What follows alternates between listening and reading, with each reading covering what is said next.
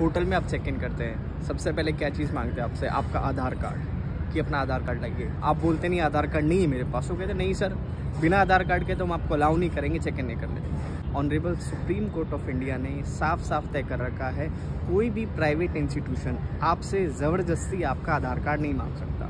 आप आधार कार्ड के अलावा भी जो गवर्नमेंट आईडीज़ है, वो दिखा सकते हैं। आपका ड्राइविंग लाइसेंस हो गया, वोटर आईडी कार्ड हो गया, कोई भी अदर गवर्नमेंट इशूड आईडी जिसमें आपका फ़ोटो हो। ज़रूरी नहीं है आधार कार्ड मैंडेटरी है। कोई आपके साथ ऐसा करता है तो आप उसके अगेंस्ट में कंप्लेन रेज कर सकते हैं। Right thank you so much hotel में आप चेक इन करते हैं। सबसे पहले क्या चीज़ मांगते हैं आपसे? आपका आधार कार्ड। कि अपना आधार कार्ड लाइए। आप बोलते नहीं, आधार कार्ड नहीं है मेरे पास। वो कहते नहीं सर, बिना आधार कार्ड के तो हम आपको अलाउ नहीं करेंगे चेक इन नहीं करने देंगे। Honourable supreme court of India ने साफ़ साफ़ तय कर रखा है, कोई भी प्राइवेट इंस्टीट्यूशन आपसे ज़बरदस्ती आपका आधार कार्ड नहीं मांग सकता।